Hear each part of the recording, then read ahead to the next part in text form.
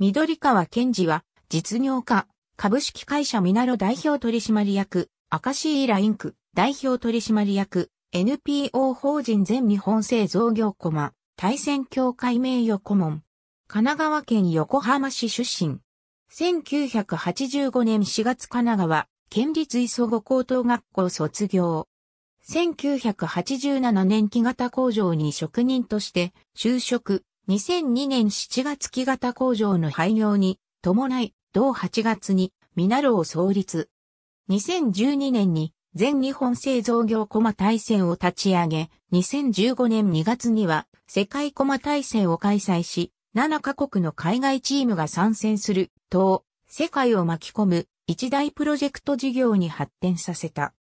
2016年3月、アカシーラインクを立ち上げ、価値ある日本製を世界に通ずるハイブランドにするをビジョンに、これまでに培った圧倒的な製造業ネットワークを元に中小企業の技術、製品を世界に向けて展開する業務を開始した。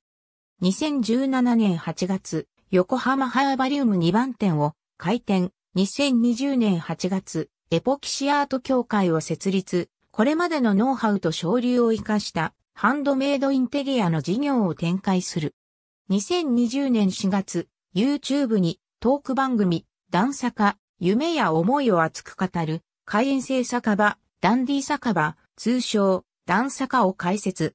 中学生の時に父親が高い母子家庭に育つ。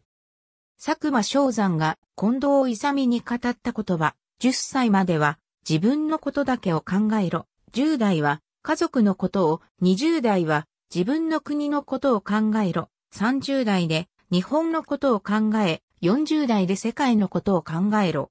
を自身のガイドラインにしている。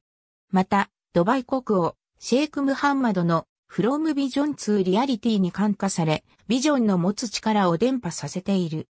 2015年には映画未来シャッターで主演を演じた。2016年には富山県氷見市で初のティドキシミー2016のスピーカーを務めた。テレビ、ラジオ番組、ありがとうございます。